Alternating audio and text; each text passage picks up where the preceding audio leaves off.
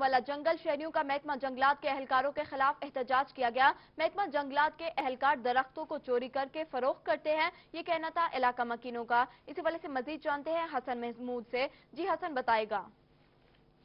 دیکھیں، اس سے میں اس سے میں موجود ہوں۔ یہ قاسم والا جنگل کا بلاک نمبر ون ہے۔ یہاں کے قاسم والا جنگل کے قریب بھی جو علاقہ مکین ہے، وہ سراپا احتجاج ہے ان کا بتانا ہے کہ قاسم والا جنگل کے بلاک نمبر ون پہ مبینہ طور پر بہت بڑے پیمانے پہ لکڑی چوری کی جاتی ہے۔ تو جس کی اطلاع انہوں نے ڈسٹرکٹ کے جو جنگلات کے ڈسٹرکٹ فارسٹ آفیسر ہیں، ملک امداد حسین، انہیں دی ہے۔ تو آج انہوں نے یہاں پہ موقع چیک کیا ہے۔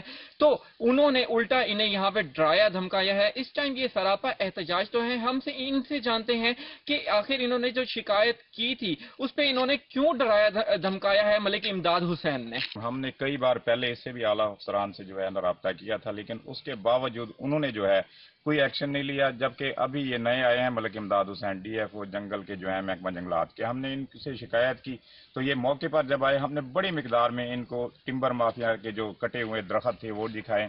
جو ان کے افسران ہیں وہ ان کے ساتھ ملے ہوئے ہیں، وہ ساز باز کرتے ہیں اور انہیں جب ہم نے دکھایا، یہ نقصان دکھایا تو انہیں، انہوں نے الٹا کاروائی کرنے کے بجائے ہمیں ڈرایا، دھمکایا کہ ہم آپ کے خلاف ایف آئی آر دے دیں گے۔ آپ جو ہیں، کیوں غلط رپورٹنگ کرتے ہیں؟ جبکہ ہم نے بالکل صحیح نشاندہی کی اور مکمل یعنی کہ جو نقصان تھا ہم نے دکھایا تھا۔ لہذا ہماری چیف جنگلات سے اپیل ہے کہ ان کے خلاف کاروائی کی جائے۔ جی بالکل، ان کا بتانا ہے کہ انہوں نے جو جنگلات میں نقصان ہوا ہوا ہے، وہ تمام نقصان دکھایا ہے۔ یہ لوگ سراپا احتجاج ہیں۔ ان کا مطالبہ ہے کہ جنگل کے جو چیف ہیں، ان سے مطالبہ کیا ہے کہ فوری طور پہ اس کا نوٹس لیا جائے اور جو لوگ جنگلات کی چوری میں ملوث ہیں، ان کے خلاف قانونی کارروائی عمل میں لائی جائے۔ جی۔